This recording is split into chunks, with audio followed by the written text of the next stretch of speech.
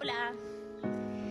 Bueno, para definir sesgo de género es necesario definir primero el sesgo implícito, que a grandes rasgos, y no, mi respuesta no va a ser súper detallada porque necesito hacer un video corto y no una clase, eh, es una lente a través de la cual categorizamos y organizamos el mundo.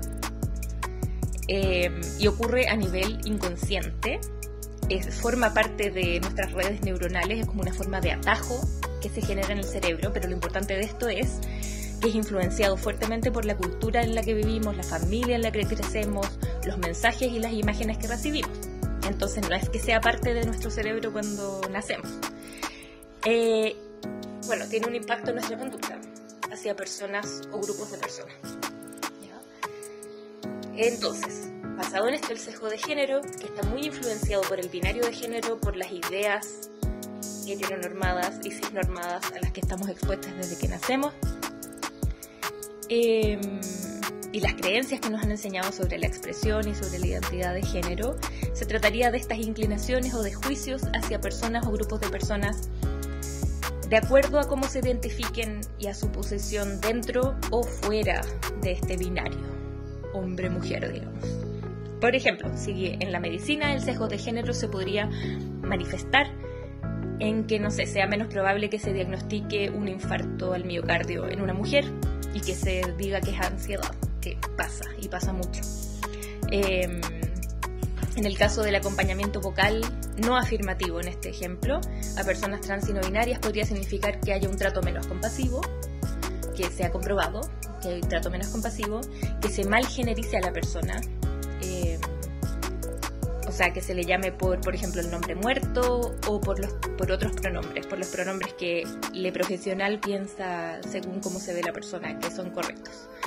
Em, y también podría manifestarse en que sin consultar realmente con la usuaria generemos un plan de intervención en que se busque feminizar o masculinizar su voz en vez de generar un programa de acompañamiento con la persona de acuerdo a lo que la persona quiera.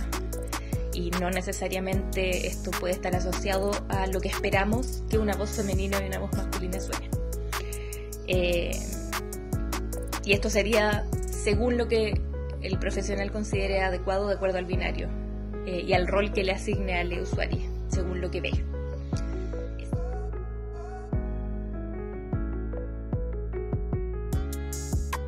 Primero es importante dejar claro que todas las personas tenemos sesgos, porque como dije antes, es parte de cómo el cerebro ordena el mundo y es parte de las culturas en las que crecemos.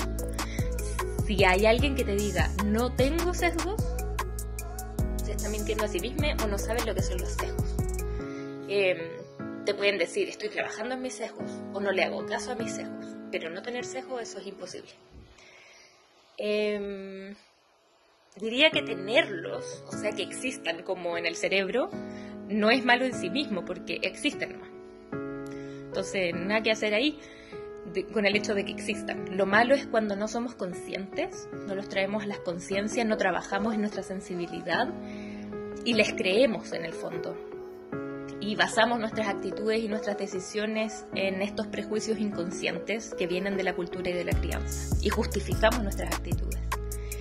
Y esto es lo que es dañino, esto es lo que no es positivo, sobre todo si estamos acompañando a personas que constantemente son vulneradas en distintos contextos solamente por ser quienes son. Em, solamente por, en este caso, no identificarse dentro del binario o de las de la heterosis norma.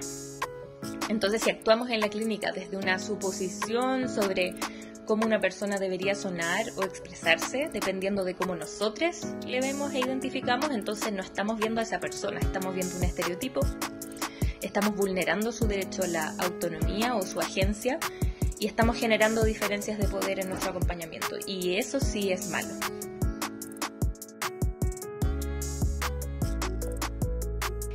Esa es la buena noticia, que sí se puede trabajar en los sesgos. Em, si bien estos se basan en conexiones neuronales y son una forma del cerebro de generar atajos, como dije, sabemos hoy día que el cerebro es mucho más maleable de lo que pensábamos, incluso en la adultez. Em, y recordemos que esas creencias se instauraron por nuestra exposición a mensajes, a imágenes y a estereotipos. No venimos, cuando nacemos no veníamos con esos sesgos, veníamos limpiecitos. Em, por lo tanto, podemos trabajar en cambiarlos. El primer paso es traerlos a la conciencia. Eh, no podemos cambiar lo que no vemos, ¿cierto? Y existen distintas formas de lograrlo, por ejemplo, la psicoeducación, que tantas cuentas eh, están ofreciendo de forma gratuita, muy generosamente. El acceso a la información sobre los sesgos, o sea, como, es como una metacognición. El, el hablar sobre los sesgos ya es tener cierta herramienta para observarlos.